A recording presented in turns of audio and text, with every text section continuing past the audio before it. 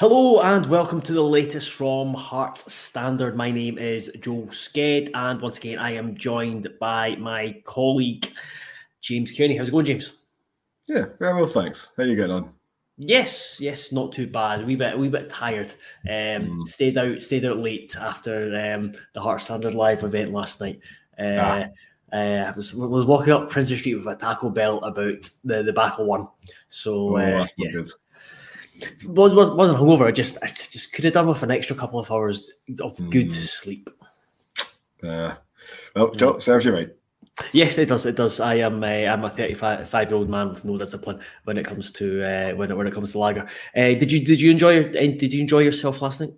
Yeah, it was it was really good fun. It was nice. Yeah, it was, nice event. It was nice meeting people, uh, chatting all things Hearts, and uh, having a having a pint, having a pie, and looking ahead to the new season. So yeah, it was good fun. It was good yeah, fun. absolutely. Jim said it was, it was a very good night. I'm glad you enjoyed yourself, Jim. I'm hoping that will be a um, regular thing over the, over the season that uh, us and Big Hearts will um, join kind of forces to uh, bring some live content. I've already reached out to Laurie at Scarce Around the Funnel. I think there's some definitely something we could do there if we kind of um, um, uh, kind of partnership or to do an event with uh, kind of hands hands across. I was going to hands across the divide, but it's not just uh, hands across fellow hearts has.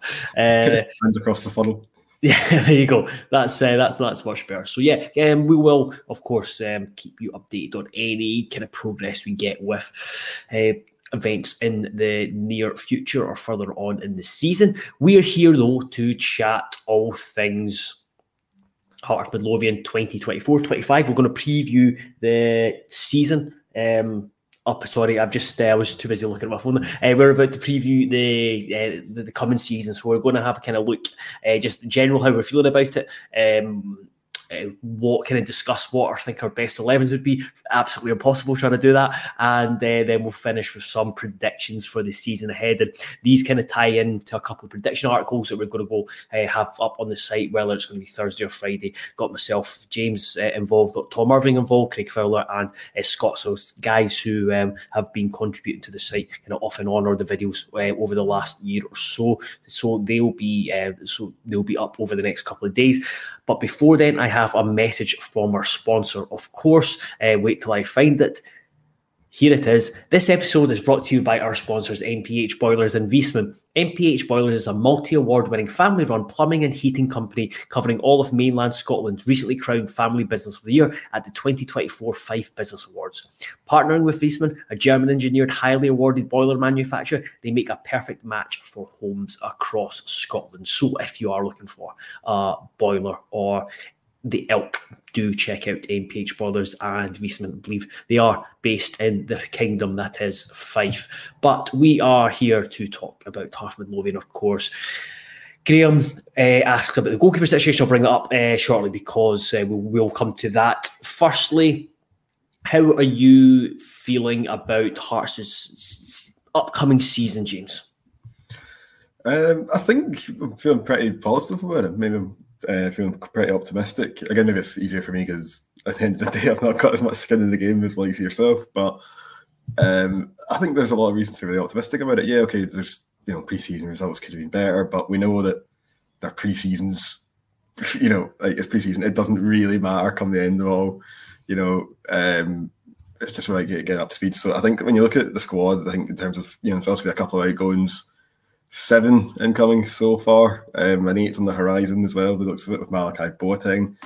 I think that when you look at the quality of players that have come in, um, I think they do improve the team. I think the team is going to be in a I think you know pound for pound, man for man, it's going to be a better squad this season. Mm. So it's going to be a year further down the line than Naismith. So I think in terms of you know understanding exactly how, what he wants and how he wants to play, and maybe getting it a little bit more sophisticated as well. Like that's all stuff that just takes time. And then uh, so I would think that Hearts will be I, am going to stick my neck out. I'll say I think Hearts will improve from last season. I think come the end of it all, definitely a higher points tally at the very least.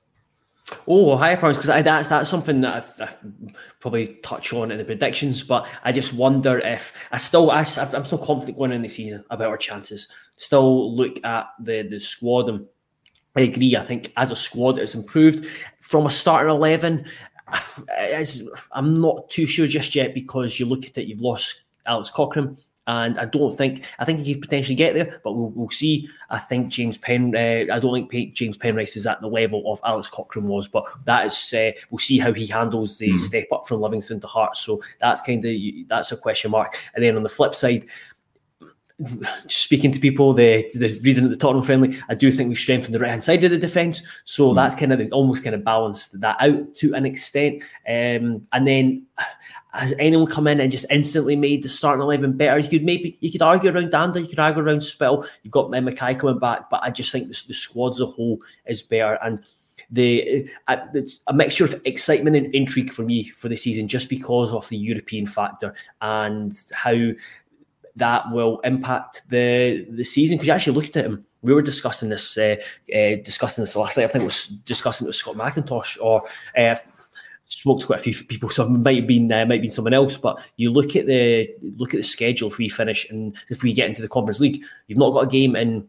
You play a couple of games in August, the playoff, and then your next one's not till September, and then it's uh, sorry, the next one's not till October mm. in, in Europe, and then I think you basically got two games in October, two games in November, two games in uh, two games in December. So that period is going to be really, really tight. So yeah, um, yeah, excited and intrigued. I think is, uh, is, is is the way I would describe how I'm feeling.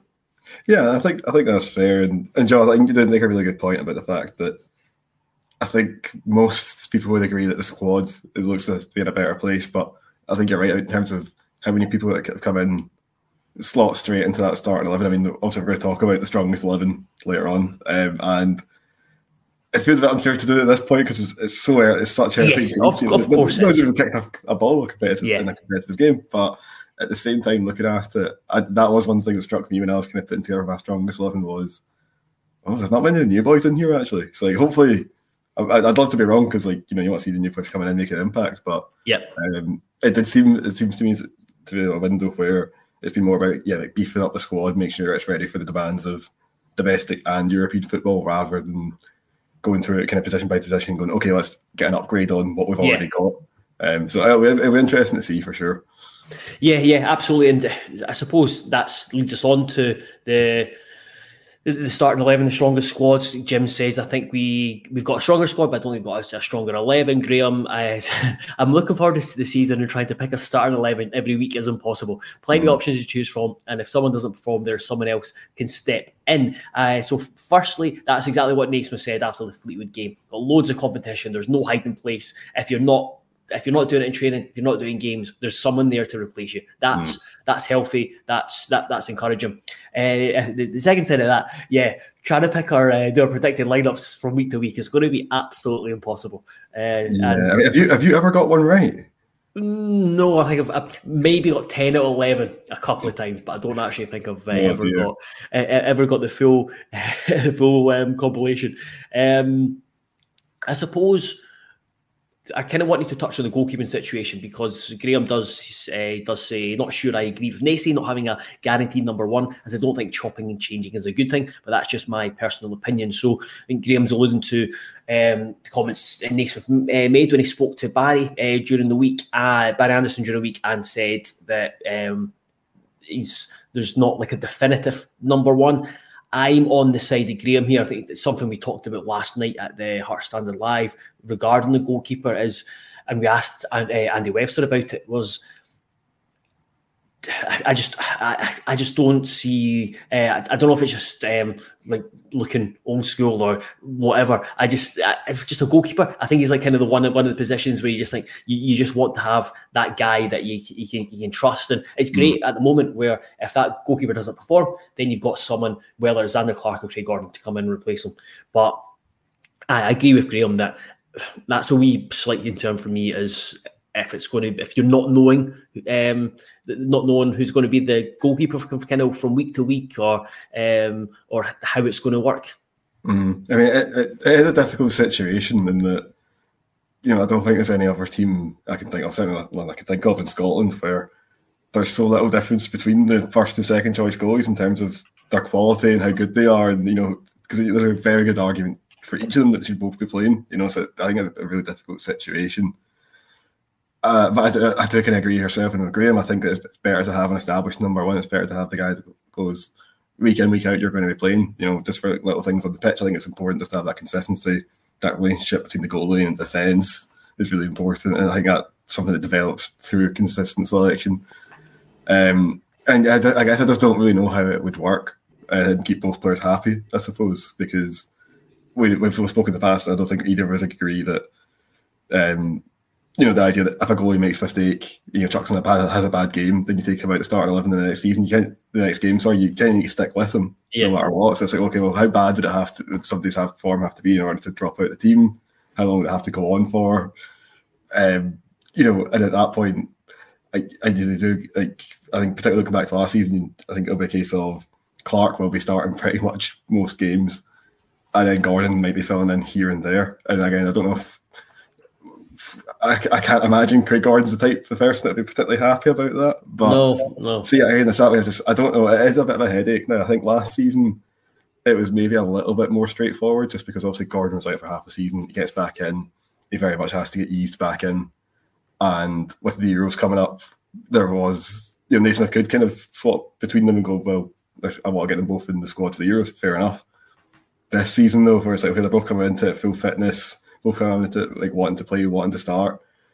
You know, no one's coming back from an injury or looking a bit shaky or anything. So it, it's going to be a really big call, but I think it's one that Naismith probably does have to make. I would think. Yeah, yeah, I, I, completely, I completely agree with that. Liam, Liam L says Gordon to play Cup and uh, Europe. That that if if you're going to be chopping, if you're not, if you're going to be giving them both games, that's like the most sensible, or like the, you think the most straightforward thing, where you've got a league goalkeeper and then you've got a goalkeeper who's going to play in Europe, the Scottish Cup and the League Cup. Because potentially, if you do that, then whoever plays in the in in Europe in the uh, the Cup games, you could potentially play I don't know 12, 13, 14 games in the season yeah, well, I mean, yeah, you'd, you'd want more, but um, guaranteed straight off the bat. But so yeah, I mean, it, it could work. But again, it's, you know, is that you know, is that enough of a selling point to go to yeah. say right, you're going to play? Um, you know, you know, again, particularly if uh, you know it's going to be you know you're going to play a lot in the first half of the season. Second half, you might play two or three games. Like yeah, you know, do you fancy? You know, it's a it's a difficult sell. Um, it's, yeah, it's, it's, a, it's a very difficult sell. So that's where you're thinking. I, I, I was actually I, I was off the view that uh, that I, I thought that Gordon was going to be uh, was going to be number one this this season, and then mm. just just the way uh, summer's gone, and then just speaking to people, just like okay, maybe it's it's going to be Zander Clark, and I think like, like Scott's Scott here said, it has to be Clark as number one. Um, that I think there is. Um, there's been a big change over, over Clark's. If you, I think it went back six months ago, people would mm. be looking, oh, maybe uh, bring bring back Gordon into it. And obviously, we've seen it the St game when Clark went down injured and folk were buzzing uh, about Gordon. That there has been a bit more, probably a greater appreciation of what Clark has uh, Clark has done um, while Gordon's been out. So yeah, would Clark take it? Clark's your in your best like your strongest eleven uh, is your number one. Yeah, I think he is. Yeah, I think I think I've, I've opted for him over Gordon. I just think that, um, again, it's just you know we've only got a handful of games from Gordon from last season to go off of, um, whereas we've got basically a full season of stuff from Clark to go off of, and I can look at it and go, I think that Clark's delivered consistently, and you know he got how many clean sheets did he get in the end last season? Was you know, loads. 18, of, you know, 19, 18, I think you know, again, you know, okay, obviously the defence are all playing their part there as well. It's a collective achievement, yeah. but still, you know, I, I, thought he had a really good season, and I think that.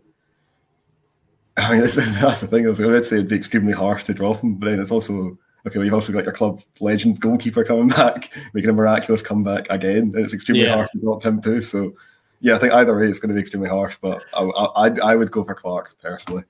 I don't envy Steven Naismith in this uh, in this scenario because I look at I still break it down as which goalkeeper would I want to win me or save me a game, and my answer mm. is always Craig Gordon. Yeah. But with Zander Clark and I think they're is that I'll bring, maybe bring in a couple of uh, the, the, uh, comments on that. Kenny Fairbairn says, "Hi guys, spoke to Craig Gordon after Spurs game. Said I felt for him missing Scottish squad. He replies, "There's the next one." Which that kind of I think that basically mm. just uh, tells you a lot about Gordon's mentality and uh, he's, he's he's not going to give. We've seen it with his message after the, the Scotland squad that he's never going to give up. Uh, Alexander Taylor says, "No offense to Clark, but Gordon has to be number one. There's levels to the position, and Clark has never reached the levels Gordon was uh, was at before his leg break. I think that is uh, that's a very fair point and kind of goes back to what I was saying about who would want to win a game, who would want to uh, save a game. So." Gordon is uh, for the summer has been like he's going to be my number one, and then uh, when I was writing it down, I was like, no, I'm going to put Clark as number one because you look at it as uh, another thing comes in the, to play. We kind of talked about it last night with the ball at his feet. We've seen it. I think it was uh, the Leyton Orient game. The first pass Gordon did, he tried to clip it to Musa Drammeh, and it just went straight into the stands, uh, nowhere near Musa. So I think th- there's probably that in it as well. If I was picking the Hearts eleven, I'd probably I'd probably go for Gordon. Uh, but I think it will be I think it will be Clark. Um, now we've uh, now we've went around the houses there. Who, in terms of your best or your what you view as the strongest eleven now, like you said, there's caveats to it's just the start mm. of the mm. season. They've not got a um, we've, uh, we've we've not played a competitive game. What but what would be your strongest eleven, and what formation would you go for? Because obviously uh, that comes into it as well because they're so uh, Naismith. We've seen Naismith likes to change depending on the situation, depending on the opponents. Yeah, exactly. So I, I reckon the one I've got just now written down that's a four-three-three, just mm-hmm. because I think that's probably what we're going to see most of this season. I'm sure we'll see the back three at times, and I'm sure the stat, the shape of that midfield three will change. You know, I think sometimes it'll be one guy sitting with two guys ahead. I think sometimes it'll be two guys sitting with you know like a number ten in that playmaker role. Uh, but yeah, I, have gone for a back four for the purposes of this. Um, and so, I mean, straight off the bat, I, find myself struggling with this because I was, going to start at left back. Uh, I find myself a very difficult decision to make already, but I, I went for Stephen Kingsley in the end. Um, I'm assuming you've have you gone for Penrice? Uh, I can't, can't remember. I was, I was laughing at um, I was laughing at Liam L, uh, a, a, YouTube comment. So he's put up his uh, eleven, which I'll read out in shortly, and then he just replied again. For now, anyway, it will change in three minutes, and that's probably the best way to best, best way to put it because um, yeah, exactly. We change it all the time. Sort of, like from from a back four, I've got I've went for Kingsley at left back, um, then at centre half, Kent, Oyegoke, and Taylor uh, right back. So that, that, that's the back four I've went for. So I mean, I, I mean, the other option is I would be, of course, maybe Oyegoke drops out, Kingsley shifts over to centre half, then there's room for Penrice uh, or somebody like that. But I, I think that's probably on four the strongest back four that Hearts have from a defensive perspective. I think it looks really solid. I think the only issue I'd say is maybe depending on the opponent, Kingsley's maybe not got quite the same amount of mobility as somebody like Penrice. Yeah. But again, in that instance, you could maybe move him in, take Oyegoke out or whatever. But I think Kingsley's definitely got to be in there somewhere for me. And I think Kent's definitely got to be in there somewhere. Taylor's definitely got to be in there. uh, the other one spot, I'm I'm willing to listen. I'm willing to talk. Yeah, yeah, because I think we said uh, it was the Spurs game that the, the the back four of like Taylor, Oyegoke, Kent, and Kingsley just is formidable as, it's just really solid, I think. Yeah, yeah just, it's a purely defensive perspective, you know. That that that's a Hearts defense, a big, mm. big, strong, physical, robust defense. Uh, so I that's uh, yeah, don't mind that. You, you talk through the rest of your eleven, and then I'll say mine, and then I'll bring in some of the guys in the comments. Right. So I guess for my midfield three, then I had uh, Devlin, Benny, and Dhanda. Um, not entirely sure about the shape, to be honest. Um, also, we could have Benny in the sinks in the six, definitely that centre mid role. Then um, Dhanda playing in that kind of playmaker role. We saw the likes of Jorge Grant playing in a lot last season. You could kind of do that. Mm-hmm. Um, or you could also just have obviously just Benny and Devlin both sitting as if did really effectively under Neilson. Then you've got Dhanda in that number 10 position up ahead. So I think those three are probably the best probably my favourite three pound for pound midfielders. Yeah, because I was, was, going to say that you, you're, you, are a big yeah, you're a big Cammy Devlin fan because that's where um, uh, surprised if uh, the the lack of Hoff.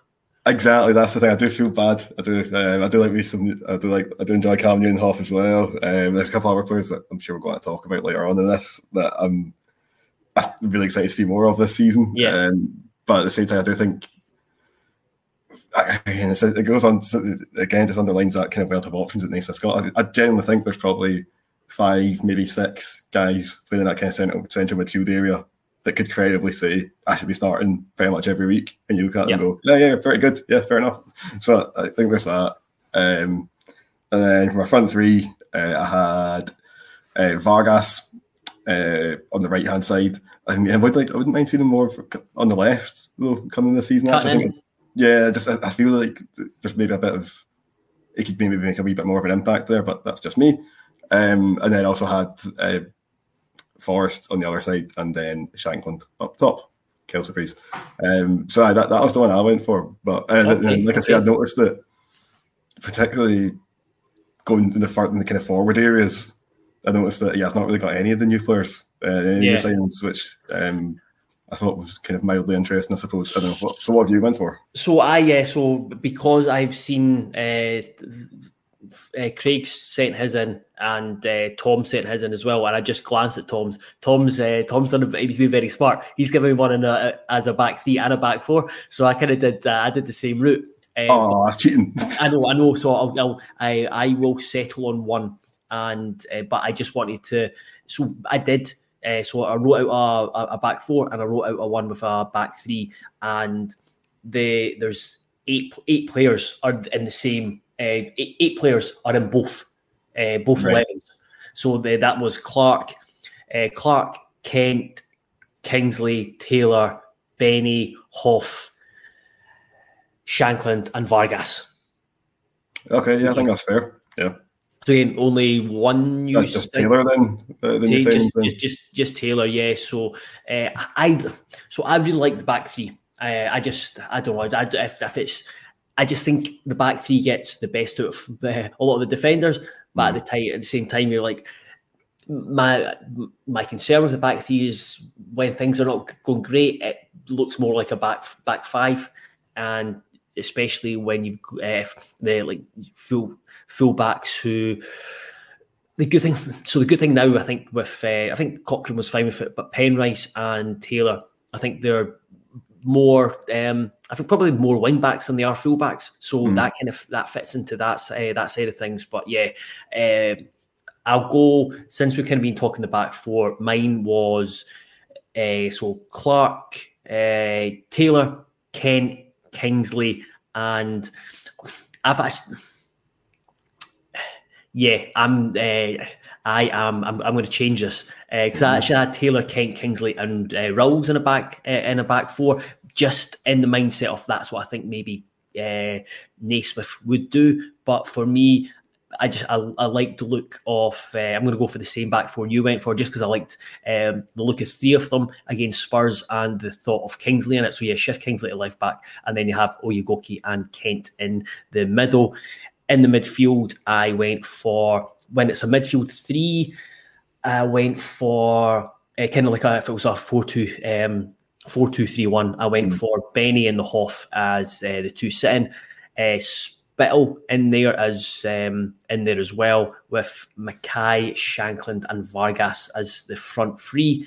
Um, but then it depends on the opposition as well because there's certain mm. games where I would play I, I home at Livingston, uh, sorry, home at like Motherwell, more comfortable playing. I would like James Penrice at left back because he's got great stamina. He gets up and down the line really well as a fullback.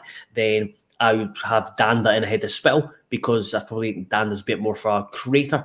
And then um, you would have Spittal who could play if we're if we're playing against Old Firm or in a derby where you probably want a bit more legs in the midfield, mm. a bit more kind of defensive nous in the midfield that you'd want name. And then the Barrie McKay, I would only play him certain games, and then I would again like those are, are the big, big, ones get are no the, they, so the, the ones where you're wanting guys to Naismith's like I want you to do a job you just do it. I would bring Forrest in and they have Forrest Vargas and Shankland like you. Mm. so yeah like Liam says it cha- honestly it changes every few minutes. It's, it's, it's really really difficult to really difficult to pick but I think the fact that I've got looking at the looking at the two 11s that there's eight or nine players there that would probably be in both of the 11s. So at least you've got a really good core mm. to kind of build around and then drop in and out. I was kind of would like to get Grant in there somewhere, but I just think he could be just this. kind of shape shifting midfielder. We're depending where which job he needs, or if he comes off the bench because he's seen how effective he was off the bench last uh, last season as well. So yeah, it's uh, there, there's there's so much uh, so much choice. Yeah, exactly. That's the thing you make. You know, I think no matter what way you, you pick your team here, like you said, there's always somebody really good missing out. You know, like you yes. said, I've, I've, not got. You know, I'm missing out on the half. You know, and, and yeah, it breaks my heart. I'm missing out on them anyway. And then like you know, you've not got Devlin in your team, or yeah, no, I really like. I really like Devlin. Yeah you know, Musa Drammeh. He's not even got a mention yet in other teams. So, yeah. you know, maybe he's going to be great. Like, so yeah, I think you know, again that kind of just kind of goes back to what we've been mainly talking about. It's a really strong squad in terms of, I think, if you take one player out, if somebody has to drop out because they're tired or whatever, uh, you know, it's too many games, and you take somebody out, put somebody else in, I don't think there's like a drop off in quality. I don't think there's much. You know, I think there's a like we've been saying, there's a big group of about 18, 20 players or so, probably all in, that are all more than capable of playing. And there's probably, ability wise, there's probably not loads between them all. So I think, like, we're kind of getting at, it's like the overall quality of the squad is like really risen, but yep. without perhaps having that, you know, those superstars coming in the starting 11 and really kind of elevating the team like that. So um, I, I think that's what's happening here. But we don't, I guess we won't really know until we get going, right? Yeah, absolutely. That's again, that's that's when I came into when I was talked about the being excited for the season but intrigued by the season. That's what intrigues me just how how the, like the how it's going to work with the squad and how Matt Nason's going to manage it and how he changes it from game to game. Yeah, because it's um it's it's difficult. So I will read out. I'll read out some of the read out the guys who have uh, commented. So Liam L says he's went for Gordon, Oyegoke, Kent, Kingsley in a back three.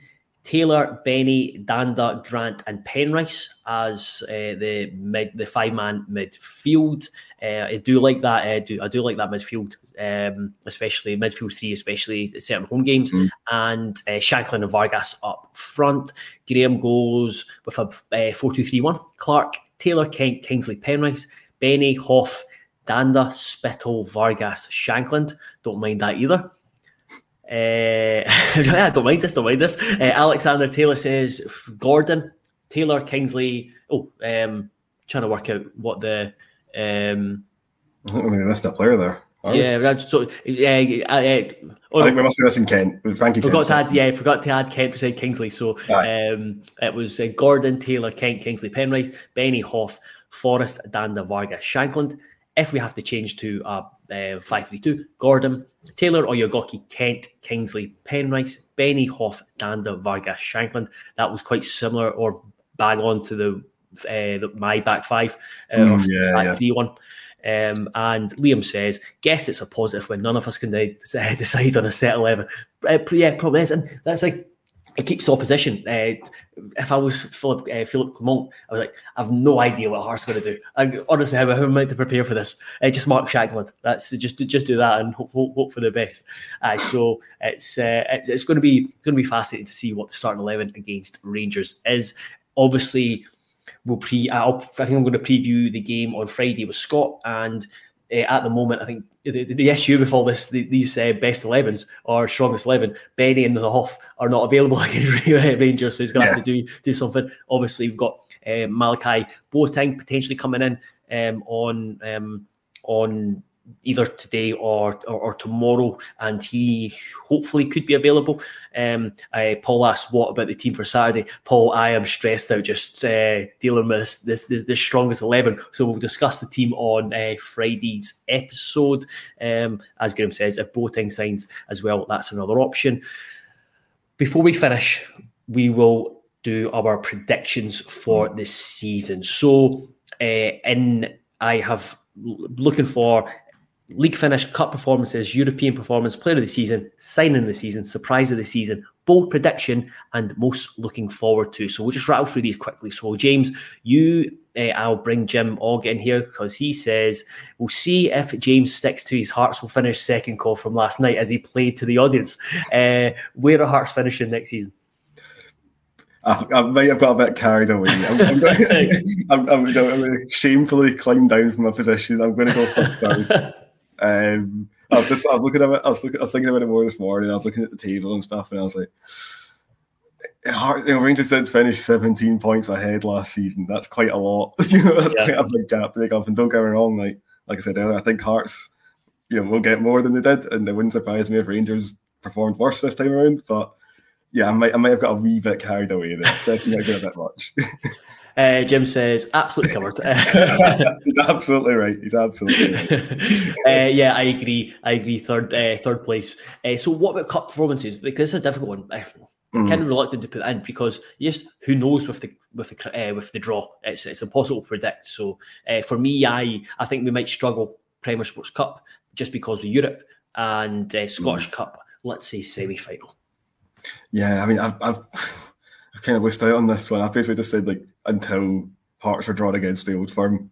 Yeah, that's kind of what I believe, to be honest. Yeah. Like, you know, again, like, you know, maybe it's a quarter final, maybe it's the final.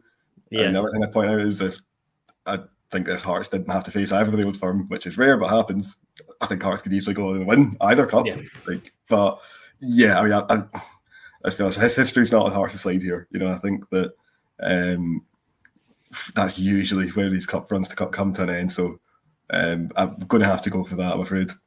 European performance, how do you think we'll do in Europe? Uh, so I've, I've went for the so uh, in the Conference League, I think Hearts can get to the playoff knock round before before the last sixteen. So like there's a there's a little round in between the league phase and the last sixteen, and I think that's where they go. So basically, there's what thirty six teams in the Conference League. Yep. Uh, the top eight, they're all through at the last sixteen straight away. Yep. Then the following eight play the next day after that, and then uh, the bottom eight are just you know eliminated, gone. Yeah. So I think that, that I guess that's where I think I could see Hearts getting in. I think that I could see them. You know, uh, by my the way I'm looking at it, I think eight or nine points seems perfect. You know, that seems more than enough to get to qualify for this next stage. Uh, looking at it, I think that's. I think Hearts are more than capable of that. Yeah. So I, I think break to the knockout round. At that point, you probably play a higher team like somebody's performed better than you at that point, that's maybe the dream over. But it'd still be exciting. So yeah, that's what I went for.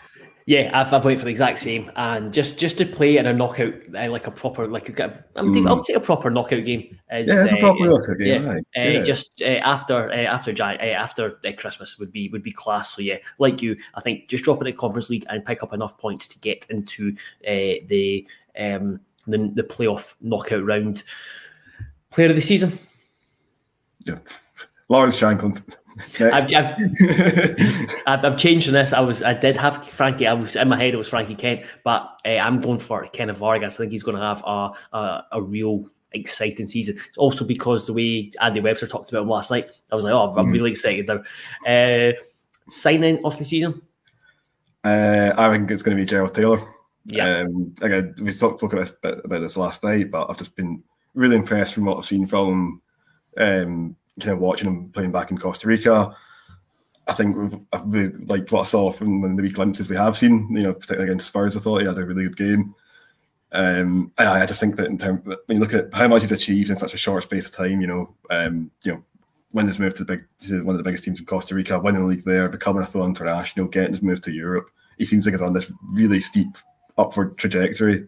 And I think as well as watching him when you you know his aggression, his pace, his physicality, like those are all things that will get you far into it, or they'll get you very far. So yeah, I think he's, I think he can hit the ground running, and I think he can also improve a lot as well. Yep, I, uh, I've, I've already uh, uh, like half an hour into the Spurs game, I tweeted out that he's going to be signed of the season, so I'm going to stick with that surprise of the season. So I've gone for Finlay Pollock will make a claim for the right wing position. This was after uh, his performance against uh, East Stirlingshire, I know it's East Stirlingshire in the B team, but uh, he is a player who is uh, very, very highly rated by the management team, and he's quick. He's really, really quick. So yeah, that's uh, that that's that's that's my surprise of the season. Oh, that's a good one. Like, I, I mine's kind of along a similar vein. Um, I'm not, I've just went. I think Macaulay Tate's going to make it quite a. I mean, you'll get more minutes this season than he did last mm. season. Um, because I just think you know from what he did last season, I think there was like clear. His promise was really clear to see. Those poten- the potential was there. You know, he's been quite. He's been pretty well involved during preseason in these matches, getting uh, used to the first team. And I think the only thing that's holding him back is, as we've spoken about a lot already, there's a lot of players playing central midfield that will want to play. You know, a lot of new players as well coming into the team, like Spittal, uh, Spittal Dhanda, Boateng so there's going to be a hell of a lot of competition. But even despite that, I still think that I, I still think he can kick on a bit more this season. Like, yeah. I don't think it's going to be like a, you know starting every week or anything like that. But I do think that even compared to the season just there, I think he'll get more minutes, play more football, have a bigger role. Um, yeah, so I'm, I'm going to go for Tate there. And what about your bold prediction? Um, I went for Hearts will win a league game at Ibrox. Oh, I was wondering why you were asking me about uh, the, the, our record. Uh, rec- wonder why you mentioned me about that. Yeah, because I was like, I knew it'd been a while. Um, yeah. Reliably informed, it was 2012. Is that right? 2012 in the top flight. In, yeah. in the top flight, yeah. So yeah, yeah. Let's, you know, we're gonna go over that. That's too long. That's ridiculous. Yeah. Um, and I know, it's, I know it's hard. It's difficult, of course it is, but Hearts should be doing better than that. And I think that this could well be the year where that happens. Um, the one thing I would say is that of all the teams in the league um, last season, Rangers were Hearts' bogey team. I think it's fair to say. you know, um, they struggled more against Rangers than anything else. But I don't know. Just again, I think the Hearts are on this upward trajectory at the moment. I can see Rangers having a difficult season, and I think that this could be finally be the year uh, get to celebrate a, a win in, in, in Govan. Well, let's hope you, you're definitely right. Uh, my bold prediction is an English club or clubs will make an approach for Steven Naismith at some point during the season, but he will turn it down just because I think he's uh, if he's if, if we start well, do well in Europe because of his name and what he did in England, I think he'll be attract he would attract interest for teams who uh, because you know what's like in England, people uh, the clubs change managers all the time, and yeah. then they will look and see the job he's doing here. So yeah, that's uh, that's that's my bold prediction.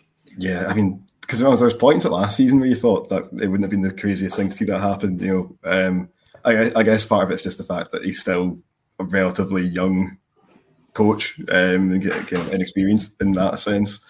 But at the same time, I think you're right. I mean, if you know the Hearts can, if he keeps doing what he's doing at Hearts, you know, you know, keep this, you know, really solidifying that third place, looking up towards second you know, competing in Europe, going deep in the cups. Eventually, of course, it's going to get attract interest from elsewhere.